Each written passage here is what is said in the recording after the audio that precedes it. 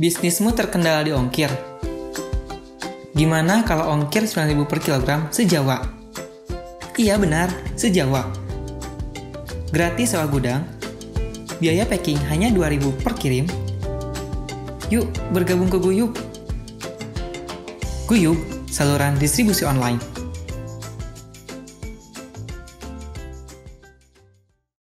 Tiba-tiba ada suatu kabar yang tidak mengenakan.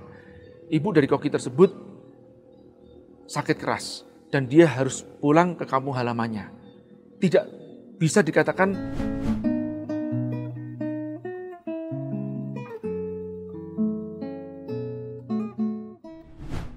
Suatu saat pada saat kelas mentoring ada seseorang yang bertanya kepada saya, Mas Ji, saya punya rumah makan. Laris banget dulu. Kenapa bisa laris? Karena memang kokinya ini memang jago banget masaknya. Bisa dikatakan hampir setiap orang yang datang ke situ selalu memuji masakan dia dan datang lagi, datang lagi. Singkat cerita, rumah makan saya rame pada saat itu. Tiba-tiba ada suatu kabar yang tidak mengenakan. Ibu dari koki tersebut sakit keras dan dia harus pulang ke kampung halamannya. Tidak bisa dikatakan berapa lama. Nah, saya nggak bisa nunggu dong Mas Ji. Saya mau nggak mau harus mencari koki yang baru. Dan belum sempat terjadi transformasi resep dari koki lama ke koki yang baru. Apa hasilnya? Masakan dari koki yang baru ini tidak seenak koki yang lama.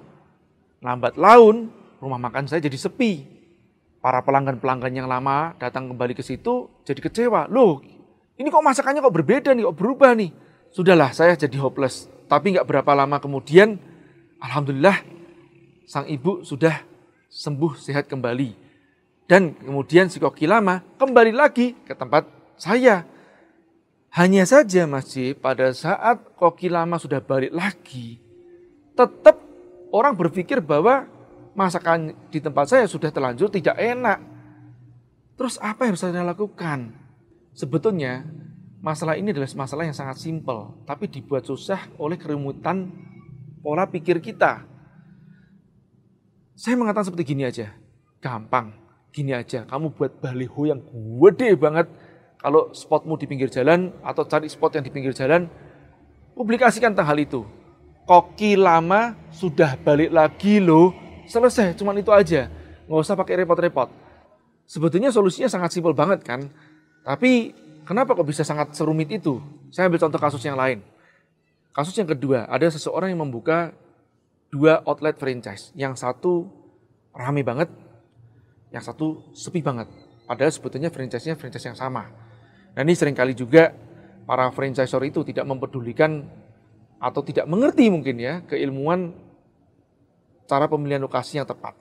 Sehingga pada saat sudah terjadi lokasi itu ternyata tidak pas, mereka tidak bisa berkata apa-apa. Oke, baik. Apa yang saya lakukan? Nomor satu, saya survei lokasi tersebut.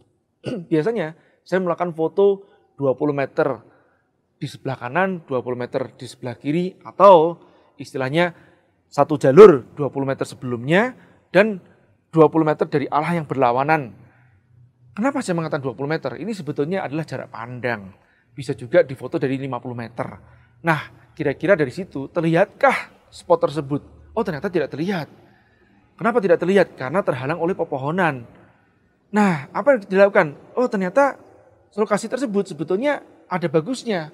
Bagusnya apa? Lokasi tersebut berada di daerah SPBU. Jalur semutnya ini ada dua arah tapi pada saat sore hari biasanya sangat ramai dan tidak memungkinkan untuk memotong jalan dari arah yang sebaliknya. Padahal dari arah yang sebaliknya itu justru malah tempat makan itu terlihat. Tapi dari arah yang searah justru malah tidak terlihat karena huknya huk mati alias 90 derajat langsung nikung. Nah, terus bagaimana cara kita membuat traffic di tempat yang spot yang salah ini? Kita mengandalkan spot yang masuk ke dalam SPBU tersebut. Pada saat masuk ke dalam SPBU tersebut, orang mulai mengisi bahan bakar. Pada saat mengisi bahan bakar, dia akan melihat ke mana? Ke area tembok. Nah, di tembok itulah tempat kita memasang spanduk yang besar. Coba tengok belakang atas. Ini kebetulan mang spotnya jelek banget ya.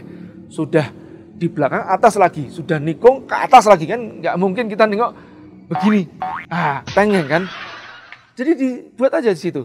Coba tengok belakang atas ada apa di sana. Nah, kemudian di situ dijawab ada anu di sini. Itu yang harus dilakukan. Tidak selesai sampai di situ. Kita bisa mengungkit konversi dengan memberikan voucher setiap mungkin pembelian bahan bakar Rp100.000. Ditambahkan voucher senilai Rp20.000. Kan harga makanannya mungkin katakanlah sekitar 20-25 ribu. Nah kita bisa memberikan spot. Setidaknya mereka mau menyicipi makanan atau menu kita. Dari situlah terjadinya konversi. Jadi sebetulnya yang disebut namanya konversi sebetulnya tidak harus dalam bentuk mereka itu membeli produk kita. Setidaknya mereka mau nyicipin produk kita itu sudah bisa dikatakan konversi. Apa pelajaran yang kita bisa petik? Kadang-kadang suatu permasalahan yang rumit itu sebetulnya kerumitan dari otak kita berpikir. Kalau kita berpikir sangat sederhana atau berpikir dari sudut pandang si konsumen atau calon konsumen ini, kita dapat menyelesaikan masalah-masalah kita dengan lebih mudah dan lebih murah. Semoga bermanfaat. Setelah trafficnya sudah masuk terus gitu, apa yang terjadi? Tiba-tiba nih, sebentar ya.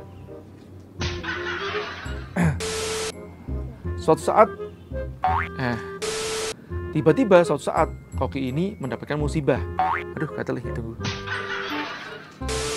di sebuah kelas mentoring ada seseorang yang berkana di sebuah kelas mentoring ada yang nggak usah dilakukan dengan dia ya.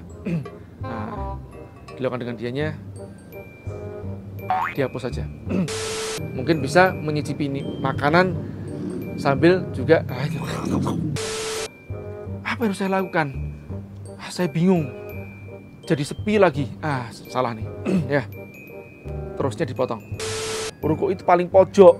Pojoknya tapi di pojok kita ah.